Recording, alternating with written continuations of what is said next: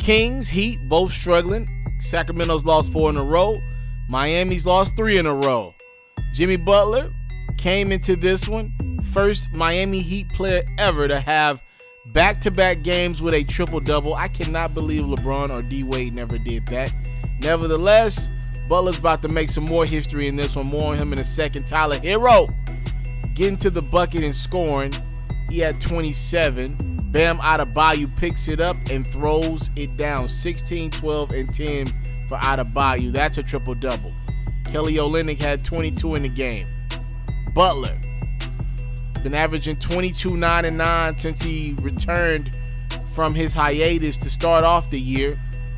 The Heat have needed every point of it, every rebound of it, and every assist. Marvin Bagley had a double double, 19 and 11. King still trailed though by double digits as we go into the fourth. Tyler Herro floating and scoring.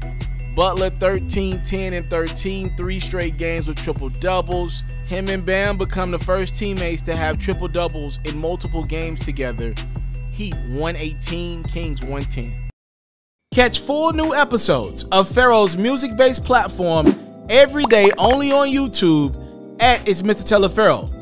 You can also find clips, updates, giveaways, and more on Facebook, Instagram, and Twitter, also at It's Mr. Taliaferro.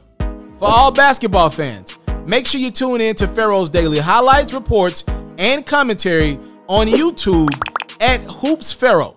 And even more updates on Facebook, Instagram, and Twitter at Hoops Ferro as well.